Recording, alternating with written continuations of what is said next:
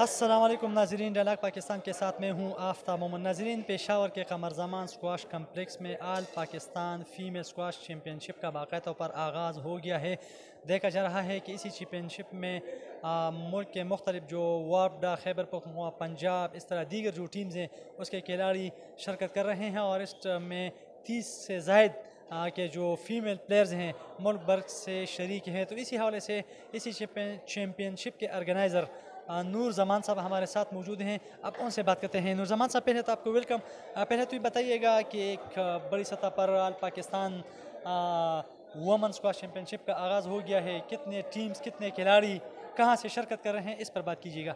बिसमीम जैसे आपको पता है कि खैबर पख्तनख्वा स्क्वाश एसोसिएशन जो है वो साल के 22 से 24 टूर्नामेंट कराती है जिसमें हम women senior men senior juniors 11, 13, 15 जिस तरह अभी बच्चियों का मैच है अभी जिस तरह हमारी बच्चियाँ जो हैं वो थोड़ी छोटी हैं लेकिन ये सीनियर मैच है।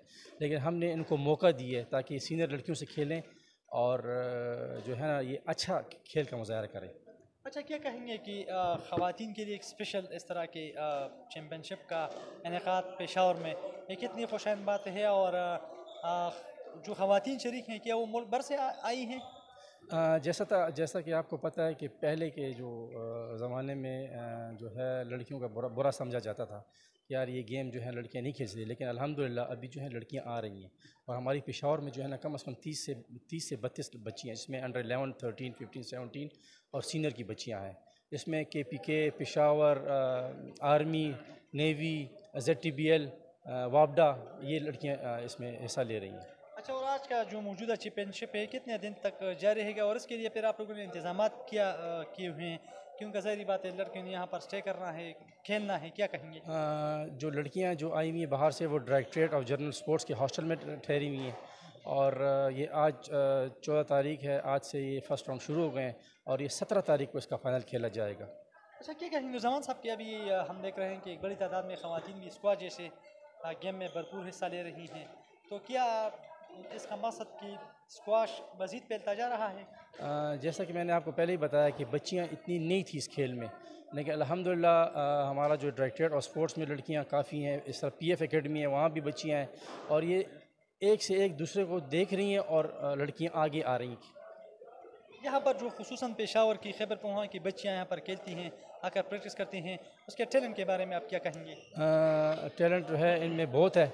हमारी बच्चियाँ बड़ी अच्छी बच्ची हैं। जिस तरह आप देख रहे हैं मेरे साइड पे दो बच्चियाँ खड़ी हुई हैं।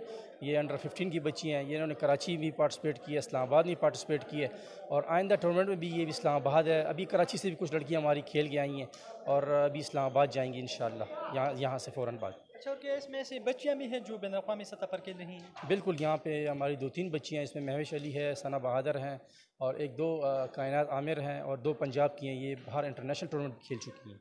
मतलब कि हम कह सकते हैं कि अब बच्चियाँ भी कमर जमान जान शेर खान जहांगीर खान जैसे हस्तियों के तारीख को दोहराएँगी। बिल्कुल जो है वो दूर वो दिन कम नहीं कि हमारी बच्चियाँ के की भी लड़कियाँ जो है ना वो इन चैम्पियन बनेंगी। अच्छा मेरा आखिरी सवाल कि आप लोग इसके साथ फिर यहाँ पर जब ये खेलते हैं कितना मेहनत कराते रहते हैं? यहाँ पे दो बजे हमारा टाइमिंग है लड़कियों का मगरब तक टाइमिंग है। और इसके लिए हमने एक मखसूस कोच रखा हुआ है जो बच्चियों को ट्रेनिंग कराता है। बहुत शुक्रिया जी नाजरीन यहाँ पर ख़वान खिलाड़ी भी हमारे साथ मौजूद हैं। उनसे भी बात करते हैं। आप लोगों ही का आज एक बड़ी सतह पर आल पाकिस्तान की सतह पर एक वमन चैम्पियनशिप का आगाज़ हो गया है। क्या कहेगी? क्या कहेगी आप?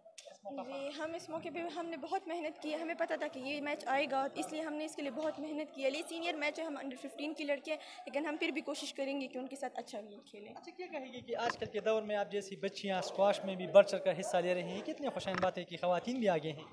जी पहले ज़माने में तो इसी तरह होता था कि ख़वान को कोई तरजीह नहीं दी जाती थी लेकिन यहाँ पर ख़वान के अलग से कोचेज़ है अलग से कोर्ट और खूब तरजीह दी जाती है। अच्छा आपको फिर फैमिली का कितना सपोर्ट हासिल है? मुझे अपनी फैमिली का फुल सपोर्ट हासिल है। कोई भी इस तरह नहीं है कि स्क्वाश ना खेलो या कुछ फैमिलीज़ में होता है इस तरह लेकिन मेरी फैमिली में इस तरह कुछ नहीं। और आज तक आप किसी बड़े चैम्पियनशिप में खेल चुकी है? मैं अभी मेरा एक साल हुआ है गेम का तो अभी मुझे एक्सपीरियंस हो रहा है कि क्या चीज़ किस तरह किस तरह गेम खेले जाते हैं लेकिन अभी मैं आगे जाऊँगी तो देखा जाएगा किस तरह खेले जाते हैं। मेहनत आपको डे टू डे करना पड़ता है? मैं स्कूल से डायरेक्ट यहाँ आती हूँ तो फिर मेरे कोच मेरे साथ खेलते हैं तो मैं 45 मिनट्स के लिए कोर्ट में खेलती हूँ और फिर एक घंटा फ़िज़िकल करती हूँ। और आपको यहाँ पर जो कमर जमान साहब जान शेर खान जब से, से जैसे आलमी चैम्पियनशिप के ज़रिए तरबियत यहाँ सीख रही है तो कितनी खुशैन बात है? जी हाँ जब भी वो आते हैं तो हम उनसे मिलने हम हर वक्त उनसे मिलते हैं और वो भी हमें बहुत सपोर्ट करते हैं इसलिए जब भी आते हैं हमें बताते हैं कि आपका वीक पॉइंट ये है आपका स्ट्रॉन्ग पॉइंट ये है तो हम सीखते हैं उनसे। अच्छा खुद स्क्वाश पर कितना तवज्जो दे रही हो?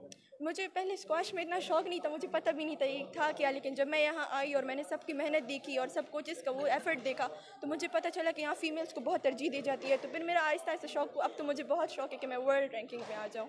मतलब मुल्क को कौम का नाम रोशन करूँगी। जी हाँ बिल्कुल। शुक्रिया आपका। जी नाजीन यहाँ पर हमने एक ख़ातून प्लेयर से भी बात की है और इस तरह जो चैम्पियनशिप के ऑर्गेनाइज़र हैं उनसे भी बातचीत हो गई। यकीनन यहाँ पर खैबर पख्तूनख्वा में देखा जा रहा है कि अब फीमेल भी एक बड़ी तादाद में स्क्वाश में बढ़ चढ़ कर हिस्सा ले रही हैं और आज का जो चैम्पियनशिप का आगाज़ हो गया है तो इसमें भी देखा जा रहा है कि न सिर्फ़ खैबर पखनवा से, बल्कि मुल्क भर से यहाँ पर ख़वान खिलाड़ी इसमें भरपूर शिरकत कर रही हैं।